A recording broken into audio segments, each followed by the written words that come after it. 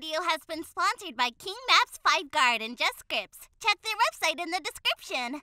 Hey guys, welcome back to another video. I hope you all are good. So today in this video, we are going to install Hookah MLO in our FiveM server. So this Hookah MLO is in the Sandy Shore location. And as you can see right there, this is the location and I'll show you in the map as well so you will get to see this MLO right here near this barber shop 4 so if you like that MLO make sure to subscribe to our channel and share this video to your friends. It's completely free and you can use it after watching this video. So I will mention the link in the description box. So first we need to go there.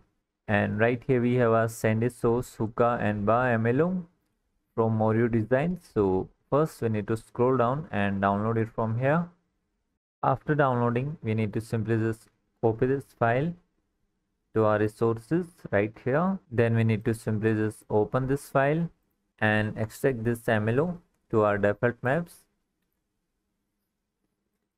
So we got our MLO. Now we can delete this rar file. And that's it.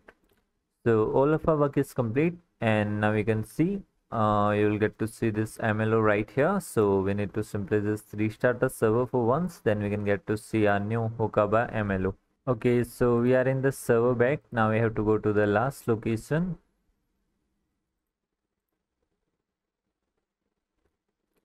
And as you can see right now you will get to see the MLO right here. Now it's open.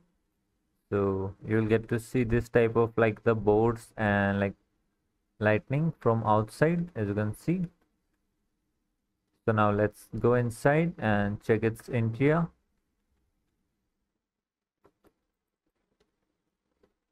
Okay i think this is not the gate maybe. Yeah.